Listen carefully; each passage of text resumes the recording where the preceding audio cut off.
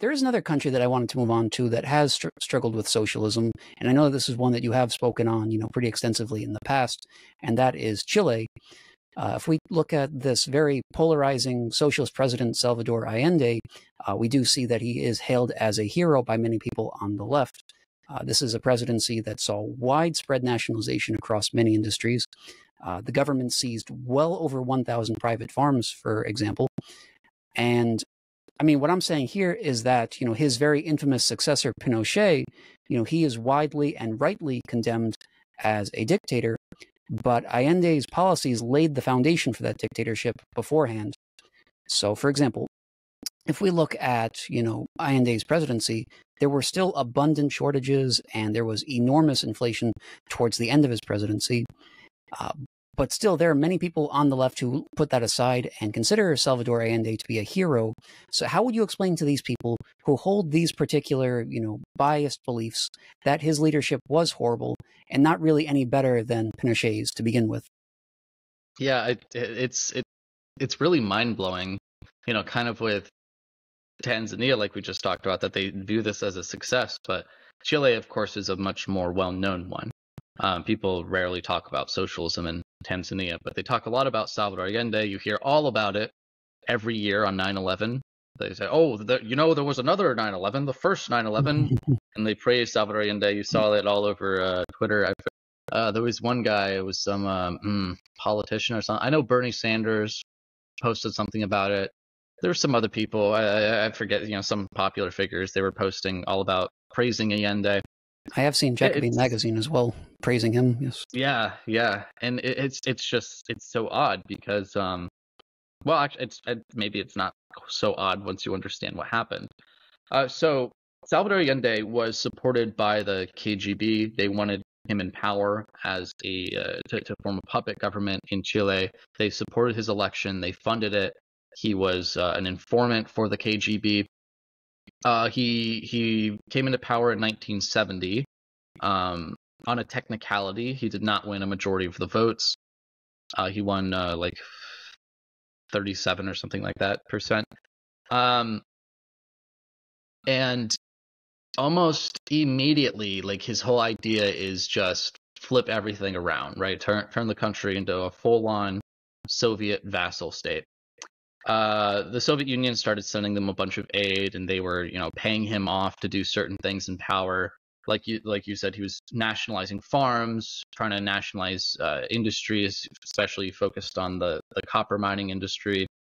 And he wanted to completely suppress all political opposition. So he he was trying to um, make sure there were no private newspapers, private radio stations, anything like that left. They shut down several newspapers and radio stations they jailed and tortured journalists who spoke out against him, and he let Marxist militant groups run through the streets completely unopposed, armed Marxist militant groups.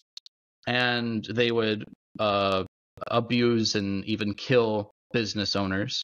And he, he was totally cool with it right um, if you really if if people really want to see how terrible he was they can read the declaration of the breakdown of chile's democracy which was a, uh, a document presented by Chile's Congress, and this is sort of what led up to that that coup.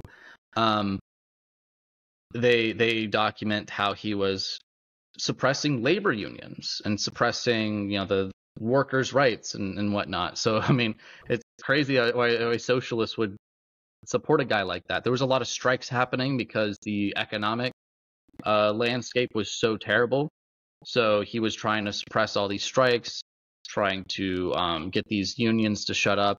They were using violence against them. Um, he uh, appointed Pinochet. Of course, they say Pinochet is this big evil fascist. Well, who who who put him in the government in the first place? It was Salvador Allende. Um,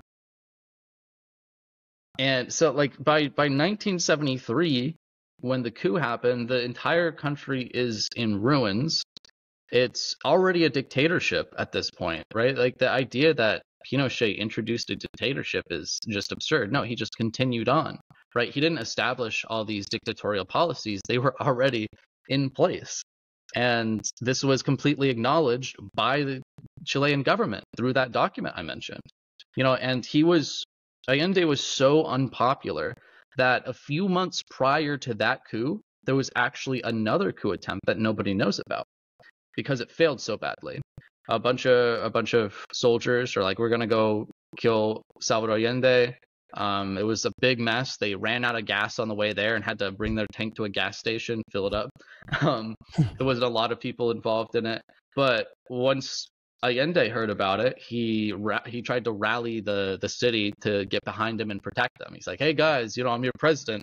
Come protect me." Nobody showed up. Nobody cared. Literally nobody cared. When the actual coup happened, nobody cared. They hated him. They they were dealing with this economic crisis on a day-to-day basis, watching their wages plummet. Uh, real wages fell by like 50% throughout his entire presidency and that's just that's less than three years. That's insane. That's that's absolutely absurd how fast he ruined things. And this isn't like looking at Milei where they say oh look Milei is ruining everything. Look how high inflation right. is. No no no no. It's it was, it's the complete opposite. Things were generally improving and then everything plunged after Allende. It's it's the you, the trends are completely the opposite right? Uh, so like I said, the Soviet Union was behind them. There was actually a ship from the Soviet Union on the way to Chile to drop off a bunch of military equipment. And uh, when they heard about the coup, they turned the ship around and rerouted it.